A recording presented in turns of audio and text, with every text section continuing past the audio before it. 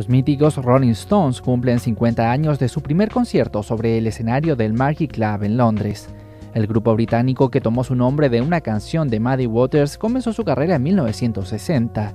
Seis jóvenes entusiastas del blues, liderados por Mick Jagger y Kate Richards, en sus comienzos interpretaron versiones de los clásicos del rock y crearon un estilo propio. Uno de sus productores, Andrew Oldman, aseguraba, no es un grupo más, sino todo un estilo de vida. En 1964 publicaron su primer LP titulado precisamente Rolling Stones.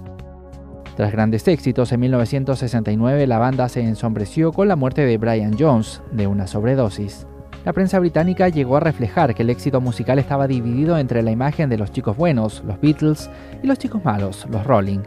Con más de 200 millones de discos vendidos, Jagger se ha convertido en símbolo de toda una generación y uno de los pilares de la legendaria banda que todavía sigue llenando los estadios. La próxima cita con los Rolling Stones será en 2013, en el marco de su gira por su 50 aniversario.